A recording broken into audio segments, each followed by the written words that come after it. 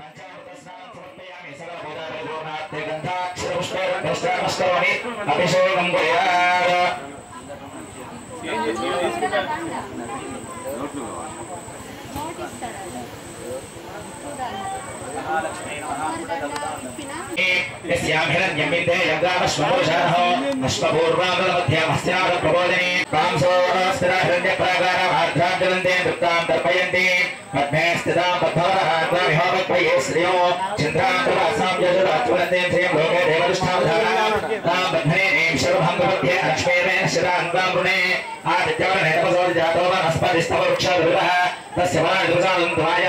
अष्टबाह्या लक्ष्मीः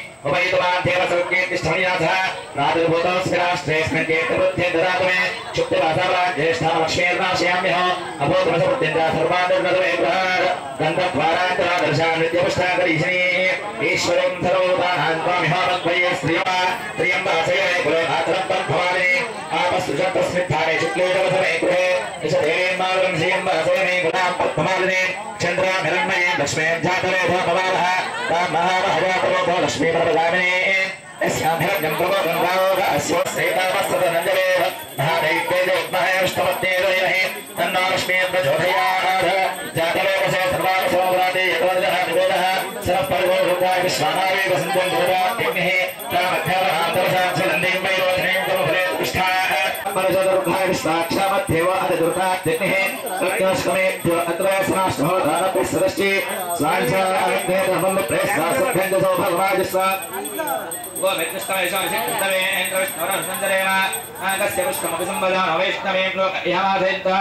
कात्यायनाय विद्महे कन्याकुमारी धीमहि तन्नो చేతిలో నా పొజిషన్ రెండు ముక్కలు ముక్కలు కుర్చీలో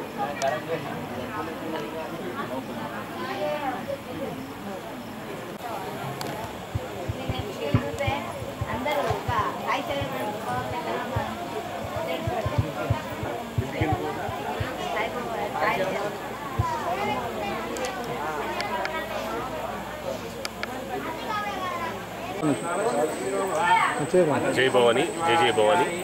మరి జగిత్యాల నడిబొడ్డున ఉన్నటువంటి అష్టలక్ష్మి దేవాలయ ఆవరణలో గత నాలుగు సంవత్సరాల నుంచి కనకదుర్గా సేవా సమితి ఆధ్వర్యంలో శరణవరాత్రోత్సవాలను ఎంతో అంగరంగ వైభవంగా నిర్వహించడం జరుగుతుంది. ఇది చతుర్థ శరణ శరణవరాత్రోత్సవాలు ఈరోజు నాలుగో రోజు. నిన్న మూడో రోజున మనకి పులంగి సేవ.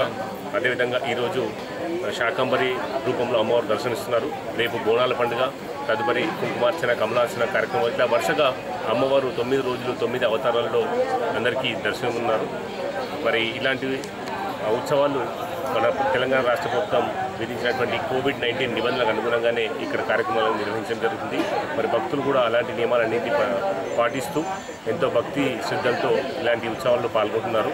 మరి వారందరికీ కూడా కనకదుర్గ సేవా సమితి పక్షాన అమ్మవారి యొక్క ఆశీస్సులు ఎల్లవెల్ల ఉండాలని మనస్ఫూర్తిగా కోరుకుంటున్నాను.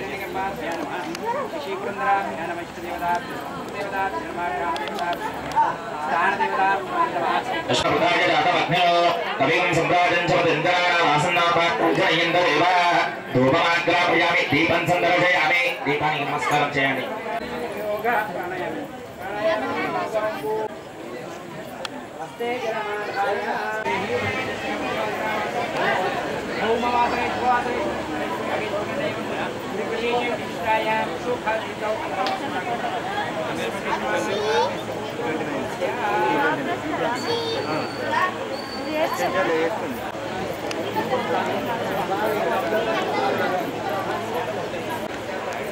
Ya Bobby.